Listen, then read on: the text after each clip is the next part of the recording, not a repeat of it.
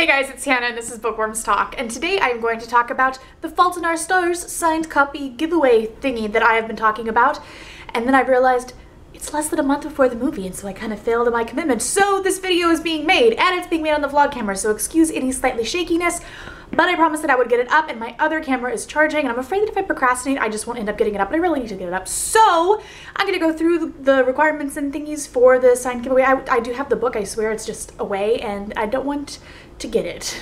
First things first, you need to be subscribed to my channel, Bookworms Talk. Second thing, you need to comment below your favorite quote or scene from the movie. You can enter multiple times, but don't say the same thing multiple, multiple, multiple times, because then it's marked as spam and I just don't have the time to go through and unmark them all. Third thing is this giveaway is United States only because I've done ones where they were United States only and then I said the winner and then I got their address and they were in Canada and I'm like, I can't do that. It costs money to ship and that's a lots of money. And this is a hardback book. So yeah, you have to be in the US. I'm sorry. I'll do an international giveaway in the future. I promise. But I guess how I said that you should just comment, like, yeah, that's what you do, and you're just commenting down there as much as you would like, as long as they are different things, and I will pick a winner using random.org, and I think that's everything. I think that's everything. Um, there will be a slide at the end of this video explaining the final rules and all of that jazz.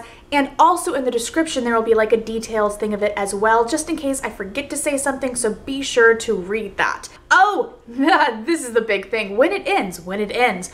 Well, it is going to end the day that the movie comes out appropriately enough, right? So June 6th is the final date and I'll be announcing the winner that night. So I'm going to cut it off at midnight on June 6th, as in like, it's technically now June 7th, like 01, that kind of, when professors don't tell me that, I'm like, well, which midnight do you mean? The midnight before or the midnight of? I'm always so confused. So like, 01 is the 7th and I'm cutting it off at that point. So yeah, I think that was everything. Yes, yes. I'll see you guys later.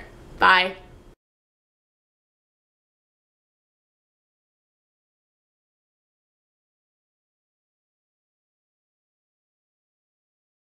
And today I'm going to talk about my, I was about to say it was Wrong.